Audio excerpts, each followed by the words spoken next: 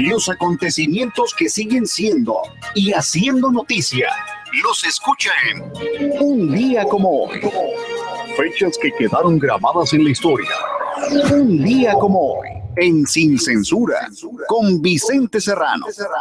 Un día como hoy, 24 de noviembre, pero del año 1842, en Paraguay, a través del decreto de libertad de vientres, los cónsules López y Alonso disponen de la abolición gradual de la esclavitud. 1859, en Inglaterra se publica El origen de las especies de Charles Darwin. En el año 1944, en las Islas Marianas, parte la primera incursión de aviones B-29 estadounidenses que bombardearan la población civil en Tokio. 1949, en Gran Bretaña, se promulga la Iron and Steel Act, la ley del hierro y el acero, por la cual se nacionaliza la industria siderúrgica.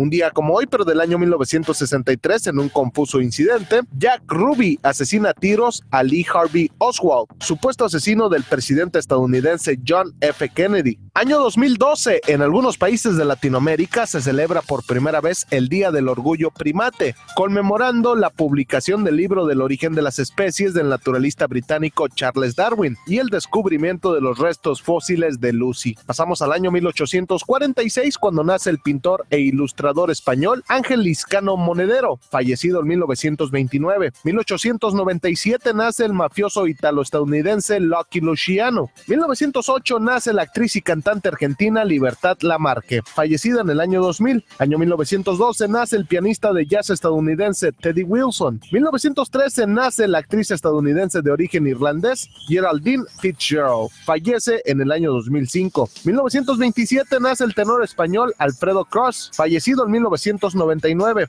Un día como hoy, pero de 1946, nace el asesino en serie estadounidense Ted Bundy. 1952 nace la actriz y cantante mexicana Laura León. Continuando en la música, le comento que en el año 1970 nace la compositora y cantante mexicana Julieta Venegas. En 1957 fallece el muralista comunista mexicano Diego Rivera. 1958 fallece el político y diplomático británico Robert Cecil, Premio Nobel de la Paz en 1937. En 1991 fallece el cantautor y músico británico de la banda Queen, Freddie Mercury, nacido en el año 1946. Dándole un vistazo a los casos y cosas que hicieron noticia, un día como hoy, 24 de noviembre, le informó Ricardo Serrano en Sin Censura. Un día como hoy.